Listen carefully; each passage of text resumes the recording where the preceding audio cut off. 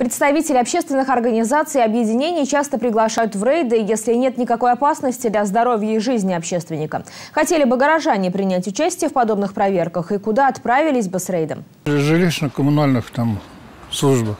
Затрудняюсь ответить. Образовательный, наверное, каком-нибудь. Против пьяных водителей. Ни- Никаком. Какой-нибудь налоговый, наверное. Цены меня интересуют. Как они откуда берутся?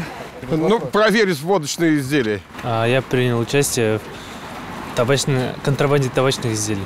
Так или иначе, порой сами того не замечаем, мы примеряем роль инспектора. Оцениваем работу общественного транспорта, состояние детской площадки, качество продуктов в магазинах. Оцениваем, не применяя санкции. Мы можем написать жалобу, претензию или заявление, или хотя бы обратить внимание ответственных на проблему. Может, этого будет достаточно?